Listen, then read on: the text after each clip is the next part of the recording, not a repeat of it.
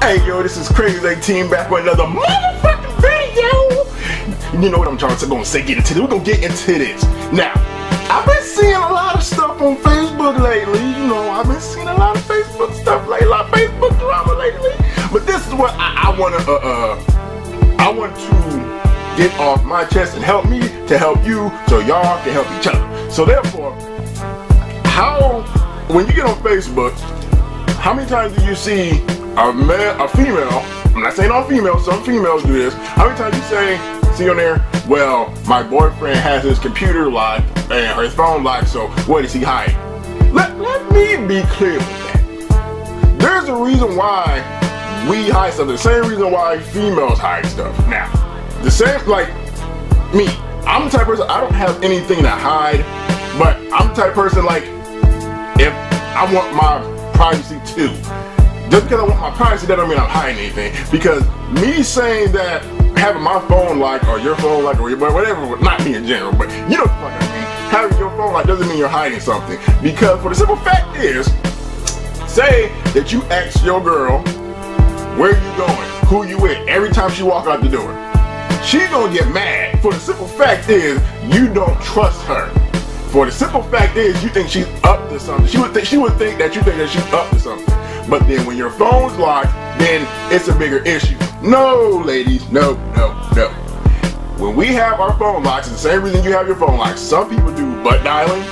Some people do um, phones are like their touch screens are sensitive, so they just call out shit like that. Some people's phones die quicker because if you um, open like my phone, where if I go somewhere and I don't have a signal, um, if it tries to keep connected to a better signal, it's going to die quick and shit like that. So therefore, I just turn my shit off and keep it on lock. Therefore, if I do lose it, can't nobody get into into it. Cause I have an iPhone, and you know, like I know with an iPhone, if you lock this shit, if you don't know the password, then you can't get it that motherfucker, no matter how hard you try. So, so you lost it, and then somebody found it, you did password. I think you got three times before it automatically locks, and then you have to sync it from the computer that you was on last. Now, saying that to all my fellas. Like I said, when your woman is locking her stuff, like I said, nobody knows how that person grew up or how they was raised or what happened to them in the past whatever, whatever.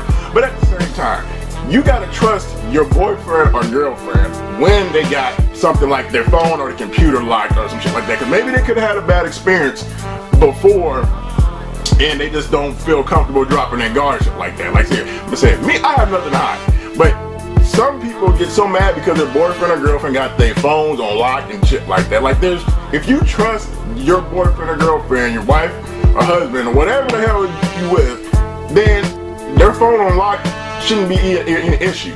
That sounds like some insecurity issues that y'all need to work out.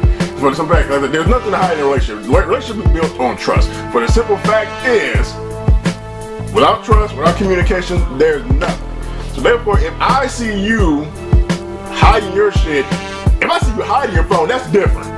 If I see, you know, me walking in a room and you fucking put the motherfucker on the pillow, I'm gonna punch you in the back of the head, knock you out, and take the phone anyway. But anyway, shit like that. Now, if I'm just like my phone is on lock, I'm not hiding anything from you. Just like other dudes have phones, like some dudes might be doing shit like that. I'm not saying that it, it, it can't happen. Um, it can happen when the females do that too. It's the same thing. But at the end of the day, if you trust that person that you was with, then there's not really an issue. Now? But like I said, that that's just, just me. So ladies, stop talking about your man having his phone on silent and, and not silent, but uh that's a tick too. Silent or locked or whatever, and you think he's hiding something. No, he could be hiding something, but if you know that he's hiding something and you know that he was a player before you got with him, then you put yourself in that position because you knew what he was doing before that when you met him, so you shouldn't get be surprised when you do it after that. But same as fellas, don't get mad when your girl's phone is on lock or some shit like that. Because if she trusts you and y'all trust each other, then she will give you her lock phone. But there's no reason for you to check her phone anyway. Just like a woman, there's no reason for check your man shit. If you don't check, like I said, like I said, when you go looking for shit, you find shit that you don't like, then you're gonna hurt yourself.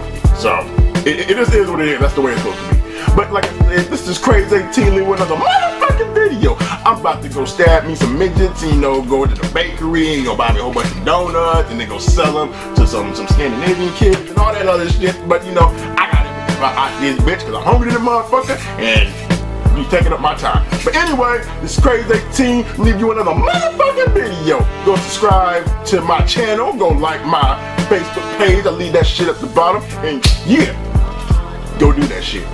Alright?